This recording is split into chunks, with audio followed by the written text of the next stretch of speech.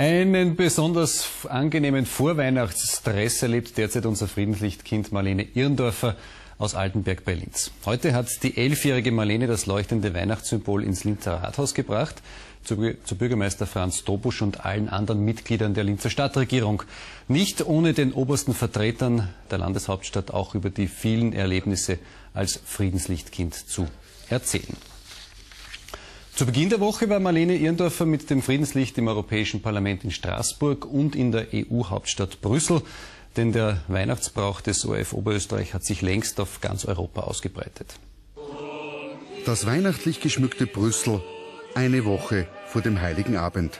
In einem eleganten Hotel im Zentrum der Stadt leuchtet das Friedenslicht aus Bethlehem in einer vorweihnachtlichen Feier für Diplomaten und hochrangige EU-Beamte vor allem aber für 170 Landsleute aus Oberösterreich, die in Brüssel arbeiten und für ihre Familien. Wir geben es auf den Adventskranz immer und auf die, auf die Kerzen beim Weihnachtsbaum. Es freuen sich nicht nur die Kinder, nicht nur die Exzellenzen, Politiker und Botschafter, sondern es freuen sich unsere Landsleute da draußen, dass sie auch ein Stück Heimat jedes Jahr einmal im Jahr hier in Brüssel wieder zurückbekommen. Mein Vater hat damit immer die Kerzen am Christbaum angezündet und das ist für uns ein fixer Teil vom Weihnachtsbrauch in Oberösterreich, in Scherding. Die Europakapelle in Brüssel. Sie hat einen starken Bezug zu Oberösterreich. Die kunstvollen Glasfenster stammen aus dem Stift Schlierbach.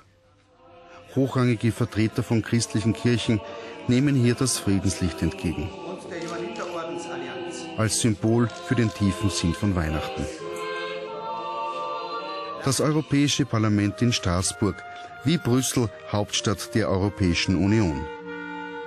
Parlamentspräsident Hans-Gerd Pöttering entzündet mit dem Friedenslicht die Europakerze.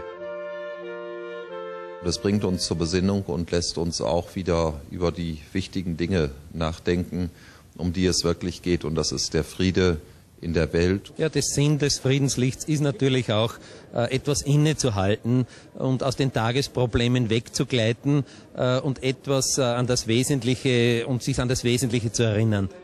Der Festtag im Hohen Haus in Straßburg ist ein großes Erlebnis für Besucher aus Oberösterreich. Das kann man nicht beschreiben, das Gefühl. Irgendwo. Das kann man nicht beschreiben. Es ist einfach super. Ich bin schon öfters mitgewesen und es war super wieder war ein anderes Erlebnis, weil ich das Friedenslicht kennt, äh, kennengelernt. Stimmungsvoll ist auch die Friedenslichtübergabe an die Stadt Straßburg. Das Friedenslicht leuchtet in einer Feuerschale im Zentrum der Stadt. Direkt neben dem großen Christbaum und weithin sichtbar.